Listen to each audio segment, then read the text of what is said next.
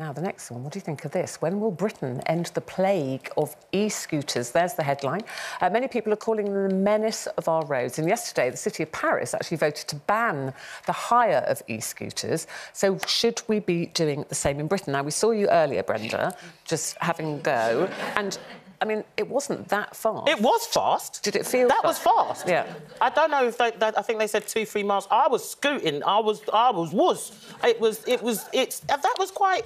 My hands were shaking. I'm Yeah. still a little bit shaky. Because you don't that. like these things. I don't. The reason I don't like them is because I have been on the other side where I'm just walking on a street, and all of a sudden something just literally takes my ear off, and I, I didn't even know where it came You from. You don't hear them, do you? You don't hear them. I think it's very. I think that there should be. Um, everybody, and I say this with cyclists as well, because there's hit and runs left, right, and centre. And the amount of times that I have to pay insurance for my car, but if a, a cycle or an e-scooter hits mine, they get away scot-free. But I'm the one that's left picking up the bill, or my, my insurance goes up because of that. And then you've got the, you know, you've got a lot of young children who have not got the awareness of what is going on on the Well, road. they say um, e-scooters have been the cause of 31 deaths on our streets in four years, injured thousands of people with an average age of 12. Because apparently, I didn't realise this, that when people rent them, Yeah. you rent them for a certain amount of time, and if you haven't used up the whole time, they dump the scooter, Mm. kid comes along, goes, oh, there's 10 minutes left on this, Mm. and they hop onto the scooter, crash into buses, crash into pedestrians, Mm. injure themselves, injure other people. I had one left on my drive last week, and I came out of my house to move my car, and I was like, I haven't used that. Where's that? Literally on my drive. And I was scared to touch it because I, I thought it was one of these things where if you move it, you're, you're getting billed or, or or whatever something. because it's. But you know, if if there's time left on it and you register to get on it in the first place, and there's time left on it when it's finished, then there should be something to deregister. You can't thing until you deregister. It's like tap in, tap out when you do the, You the literally, tube see, you literally see them discarded. Yeah, I don't understand everywhere. that. And it's not even discarded up against a wall. I mean, if you walk around London, they're discarded in the middle of the street. Yeah. And I didn't know about this whole chip thing where you pay for it and then it's, you know.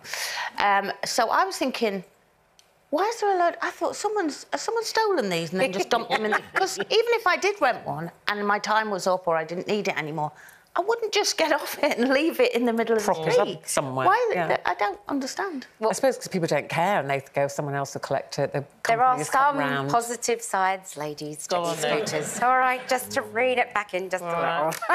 little. Let's it. So, so listen, they are really, really green. Yes, of So course. there's no pollution. But I, I've used them. I, I find them great fun, um, and also they're really easy to use. You just literally go like that, put your information in, away you go. I do agree that they do, they do now need to be legislated, just because they're coming becoming Do you so ride it on the road?